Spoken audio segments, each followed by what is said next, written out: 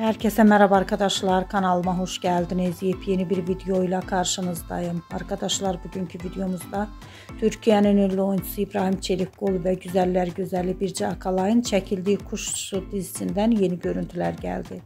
Kuş, Kuşsu dizisinden de e, kutlama var arkadaşlar. Ben de bu görüntüleri sizler için YouTube kanalımda video halinde sunuyorum. Umarım beğenirsiniz.